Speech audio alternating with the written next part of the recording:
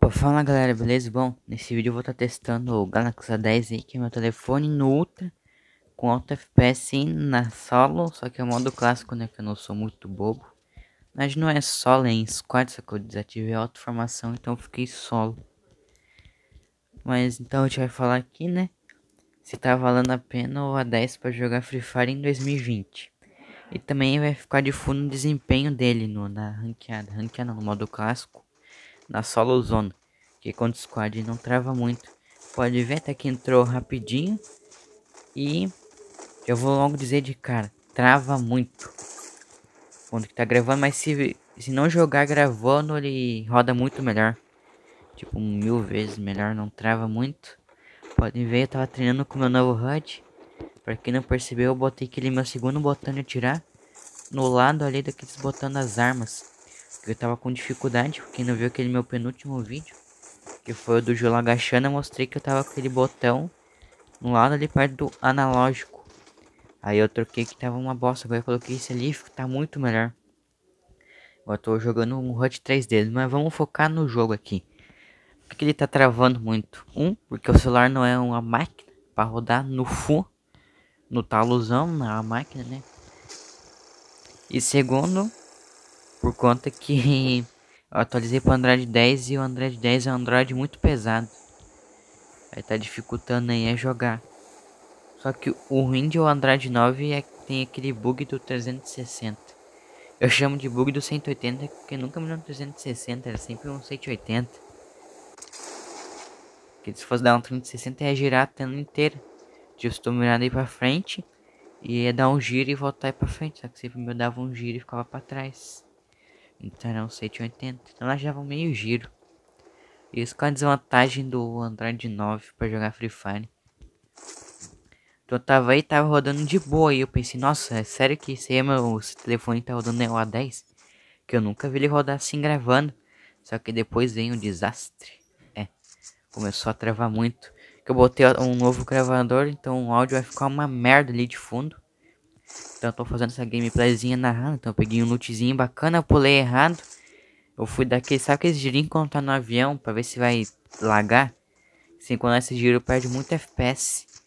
Eu tentar fazer isso eu pulei sozinho. Eu ia cair tipo lá em cemitério.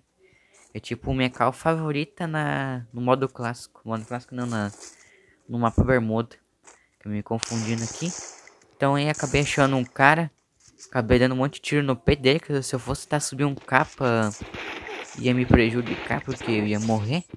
Ia dar umas travadas demais se fosse tá subindo o capa, então eu dei no peito mesmo. O peito também mata, então pergunta pro Rash.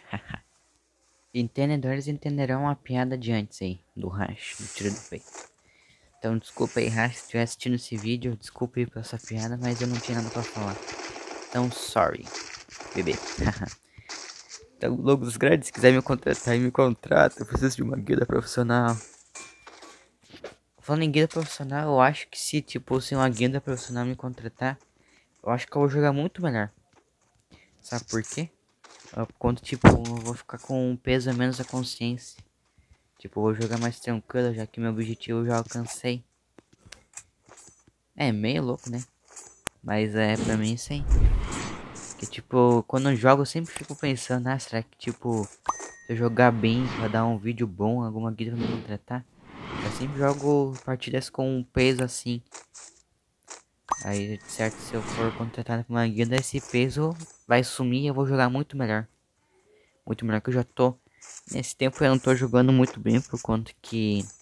Eu não sei, eu tô com uma má fase, sei lá. Só que tipo, o capa tá indo muito bem, só que...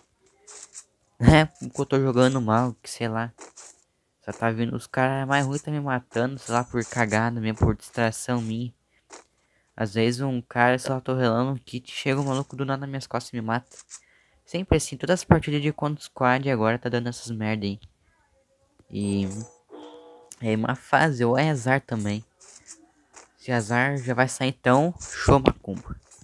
Então vamos focar no vídeo, eu tava dando um rolê aí. Aí, tipo, tava rolando até que de boa.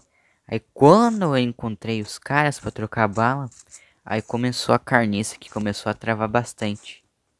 Então, tava dando aí um rolê. Eu tava passando lá, lá por.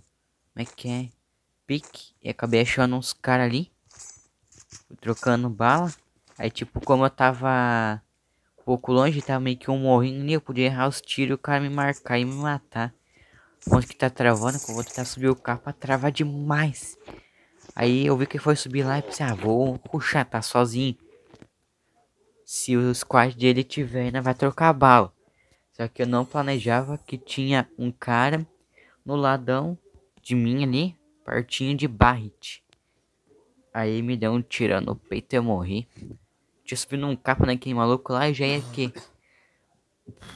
atacar um gelão agachando depois do capa, porque eu sabia que podia vir alguém, só que né, foi muito, como é que é, impre imprevisível, né, que o maluquinho lá também atrapalhou. Só que travou demais quando eu fui trocar a bala lá. Então é por isso que é uma desvantagem pegar o A10 e tentar jogar ele no Ultra 4 FPS. Na for trocar a bala, que é o momento mais importante da partida, ele trava. Ou perde um FPS. Aí complica. Então, né, então, o A10, pelo preço que ele valia antes, ele valia bastante a pena. Tipo, ele valia uns 700 reais, 800. Isso valia a pena agora, tipo, tá mais de mil. Tem lugar que é mil em ponto, sim, 999. Mil, né? E tem lugar que é mais barato, tipo 850, mas esse preço não tá valendo muito a pena. Tem muitos celulares sendo do mesmo preço com a 10, ou um pouquinho mais caro, uns 100, 200 reais. Ou até mais barato que a 10, que é muito melhor que ele. Então é só pesquisar aí, eu já tenho uma ideia para vocês. Tem o Redmi 9 ele tá uns 800 a é na AliExpress, só que tem aquelas taxas chatas da alfândega. Aí fica mais caro. Também tem pela Amazon, né? Na Asmo, na a, Asmo. Na Amazon tá um pouco mais barato, mais carinho. Mas eu acho que não tem essas taxas aí, só se comprar na Amazon Brasil. Eu acho que não tem essas porcaria aí. Então é só pesquisar aí o telefone, vai encontrar um telefone muito bom, mas depois que essa, essa atualização no Android 10 e as pessoas que atualizaram não tá curtindo muito, hein? Jogar no Galaxy 10 que tá muito ruim. Então, tô falando que vai vir um Android 11. Eu não vou atualizar se for uma bosta. Vou continuar com o meu Android 10. Eu quero desatualizar o Android 10, só que eu não tenho PC. Não. É, galera, então boa sorte pra quem tá pesquisando no celular, mas o A10, se continuar com o Android 9, ele roda de boa. Mas depois do Android 10, hum, complicou um pouco. Então, galera, era isso. Falou!